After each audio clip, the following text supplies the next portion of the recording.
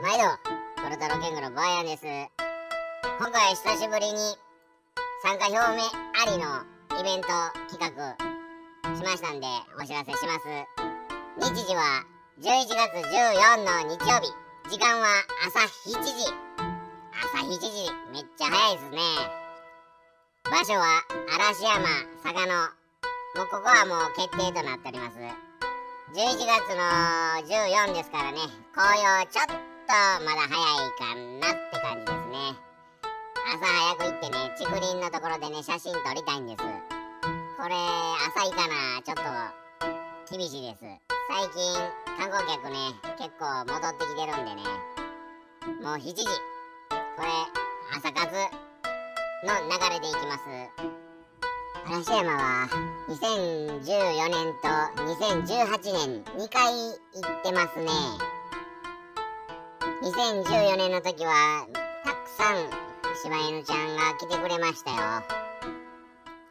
2018年に行った時の動画を YouTube ゴル太郎チャンネルでアップしてますのでそれもちょっと見たってください。いつもはね朝活ということでね午前中で、えー、終わりみたいな感じなんですけどもね。この日もう終日行っちゃおうと思います。だからゴロ太郎健吾のお店。休みます。休んじゃいます。だってね私自身めっちゃ楽しみなイベントなんです。まあこのなんでめっちゃ楽しみか言うとですね京都のあんこちゃん。あのー、豆柴のね可愛いあんこちゃんいますよね。あこのお母さんがねかなり気張ってくれはりました。祇園市場のね椿さんっていう懐石割烹のお店があるんですけどもね。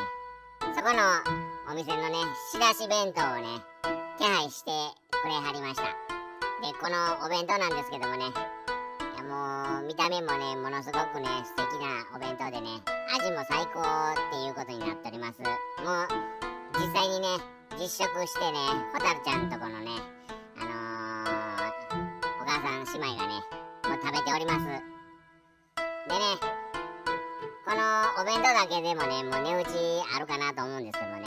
この弁当作っていただくのにね椿さん日曜日あのお休みなんですけどもねスタッフさん出てきてね作っていただくということでね余計ねもう大大大感謝です。で1食ね2000円になっております。これをね京都の嵐山にね届けてきてくれるそうなんです。そのお弁当をあの公園で紅葉と桂川を見ながらピッて引っ張ったらね扱いになるお酒なんか飲みながらね食べるなんてねものすごく優雅でいいかな思うんですけどもね。皆さんどない思いますでしょうか？まあこれお弁当ね注文っていうことなんでねキャンセル不可っていうことなんで皆さんに参加表明とお弁当の注文っていうことをお知らせしております。でそのお弁当の締め切りがですね10月31日にしようと思っております。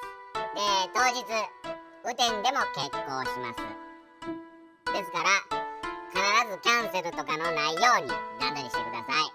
まああのー、詳細の方はねちょっと下見行ってきますのでねまたお知らせしますけどもね。取り急ぎ、えー、こんな感じでお伝えしときます。